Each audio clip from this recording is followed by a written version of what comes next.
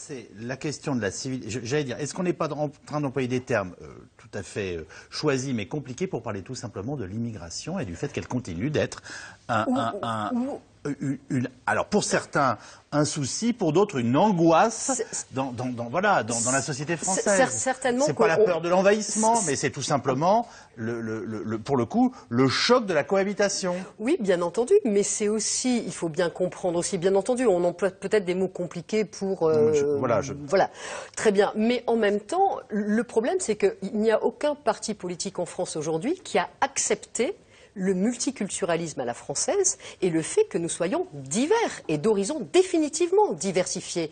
Et on continue, que ce soit au PS à gauche, à parler d'intégration ou au Front National ce week-end à parler encore d'assimilation, évidemment. Mais quelque part, c'est un peu la même chose.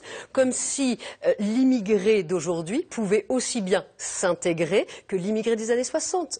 Tout ça a changé de visage. Le monde est plat, il est ouvert, il est complexe et tout le monde est dans le monde. Mais les logiciels des partis politiques n'arrivent pas à proposer un autre paradigme. Finalement, le paradigme frontiste est l'extrême branche de tout le paradigme des politiques français. Ra- Raphaël Baquet.